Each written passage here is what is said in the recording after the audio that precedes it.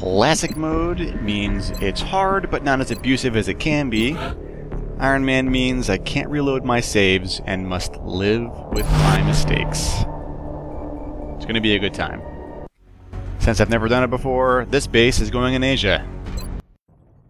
XCOM is a squad tactics game in which you are short on resources, short on time, and severely outnumbered and outgunned.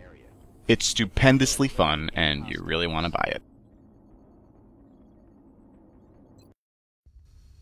Uh, they're repairing this roof. Are we sure it can support the weight of this plane? Shut up! Okay. Strike one. This is The point of entry for this roof is a rough one, because all of the cover initially available to me is half cover and flimsy. These material pallets will basically evaporate under alien plasma fire, so a protracted firefight this early in the map would be really bad. Advance cautiously and slowly, hoping the aliens will tip me off at their location, that I can make a mad dash for sensible cover that doesn't put me right in the line of fire. I'm overwatching my second rank of rookies out of cover because there are no active aliens. When aliens activate, they only get a half turn, basically, just one move that they use to get to cover. They won't fire, they won't overwatch, meaning that my rookies get a chance to overwatch on them while they're out of cover. It's basically a free shot on any aliens that patrol into my view. I can then get my rookies to cover on the next turn.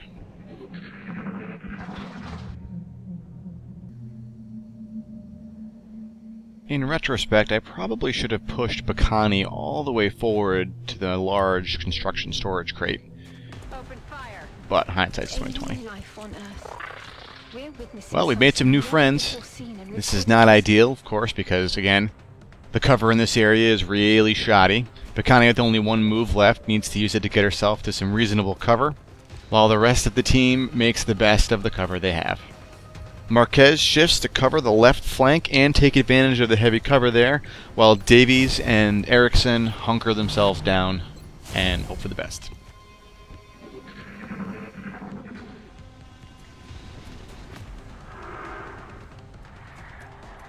Him!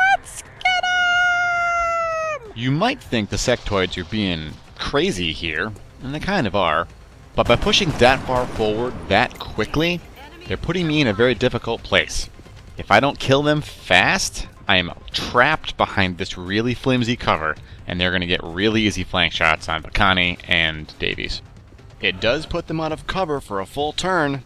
92%. You're totally going to die. What? There's green alien blood spurting from his face. Bullet immunity is a problem. If I don't kill him, he will step forward and flank Bakani. 70%, what do you say, Davies? That's what I like to see. Their weapons appear to self-destruct when the operator dies. We should look closely for any fragments that could be salvaged for our own... Marquez cleans up, and Erickson steps to the right to cover Davies.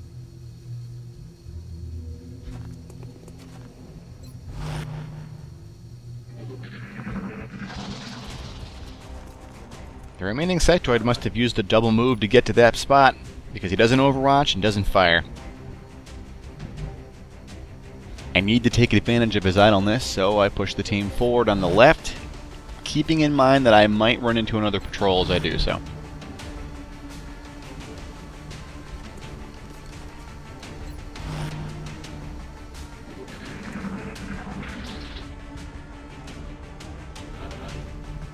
His compatriot's dead. This lone sectoid doesn't know what to do. So he tries to blend into the background while my troops move to flank him.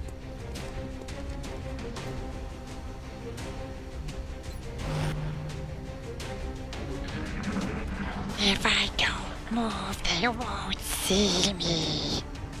Alright, Mr. Creeper. Speaking of creeping, if I creep up to the very edge of this case, I won't trigger his overwatch and I get a nice easy shot on him. He's down.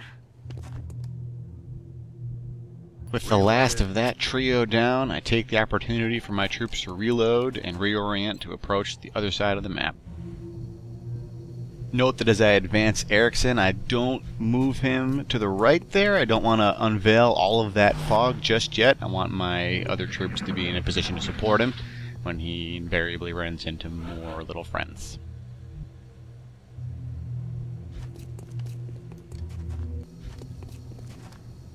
This is a great place for montage music, but any song I can think of would get me sued, so.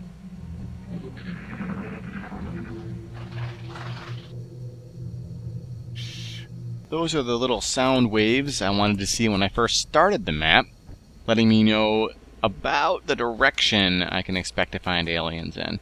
In cases like this, it won't affect how I move too much, because the map is so small.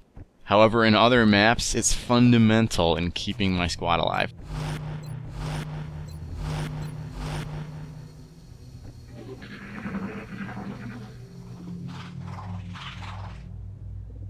There's something out there.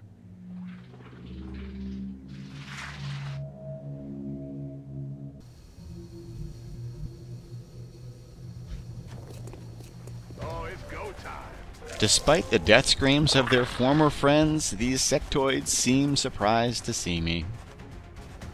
I'm in good cover, but I don't have any good shots, and when push comes to shove, the aliens are going to win the long-term firefight. They've got better guns and better aim, and even though my cover's good, they will chew through it eventually, and they might hit me on a lucky shot, which is not something I can say for my rookies. So it's grenade time. Grenade out.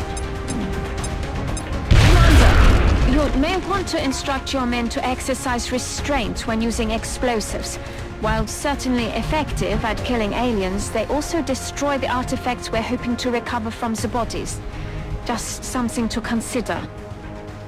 She's right. Using grenades is costly because it destroys weapon fragments. I still get the corpses, but not getting weapon fragments will hurt me in the long term. I need those for weapons research, development, and building a lot of stuff. Then added bonus in this case, Davies killed two aliens and got himself a promotion. A promotion he pays for by taking plasma to the face through a porta potty.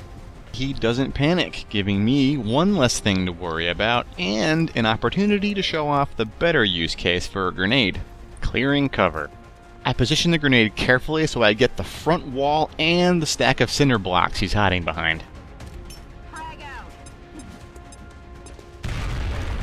That gives Erickson an easy shot.